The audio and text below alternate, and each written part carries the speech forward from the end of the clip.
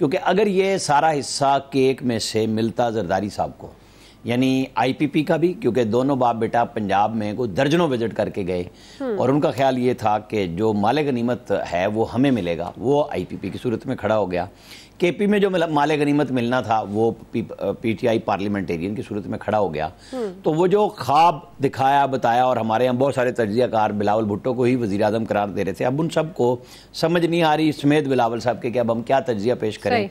तो ये नया बयानिया दिया गया है हम्म। कि नवाज़ शरीफ नए इतादी तलाश कर रहे हैं भाई मुझे बताएँ कि अगर सोलह महीने की हुकूमत इकट्ठी थी हम्म। तो उसमें एम क्यू एम नहीं थी उसमें जे यू आई फे नहीं थी हम्म। उसमें जी डी ए कहाँ खड़ी थी? वो कहते हैं मतलब सोलह माह बड़े करीब से इनको देखा बड़ी मायूसी हुई है बिलावल हाँ नहीं नहीं वो यही बात ना बड़े करीब देख के नवाज़ शहबाज शरीफ और बिलावल दोनों एक दूसरे को बेहतरीन सर्टिफिकेट कहीं दाएँ बाएँ नहीं पार्लियामेंट में खड़े होकर दे चुके exactly. हैं और जरदारी साहब ने इमरान खान को मशवरा दिया था। आपको याद होगा कि हमारे वज़ीर आज़म शहबाज शरीफ हैं आप इनसे बात करें हम्म। अगर आपको सियासी बातचीत करनी है। तो ये सियासत हो रही है राजनीति का खेल है कि मैं सबसे अच्छा हूँ और बाकी हम्म। सब बुरे हैं।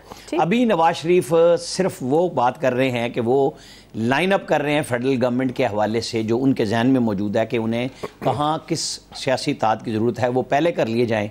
और मेरी आज बात हुई वहाँ पर जो खालिद मक्सी साहब हैं जो नवाज़ शरीफ से मिल रहे हैं मेरी उनसे दोपहर को जान जमाली से। इन सबसे मैं चूँकि मेरा काम है कि लोगों से रबते हों बातचीत हो मैंने उनसे भी समझी। उन्होंने कहा आज हम जिस तरह हमने 21 अक्टूबर को स्टेटमेंट दिया था कि नवाज़ शरीफ को वेलकम कर रहे हैं हम इसी तरह जा रहे हैं।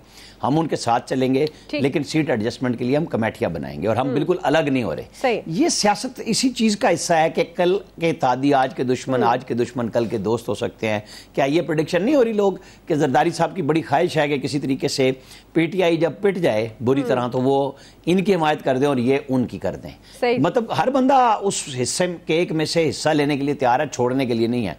तो हमारे लिए और आपके लिए ये अच्छी बहस है। हमें तो रोज़ाना की बुनियाद पर यही देखना है और हम सालों से देखते आ रहे हैं। बिल्कुल सही है मिसाक जमहूरियत भी इसी तरह ही हुआ था। और मिसाक जमहूरियत के बाद भी हाँ। ये दो दफ़ा इकतदार में इकट्ठे हुए हैं और आज फिर लड़ाई हो रही है।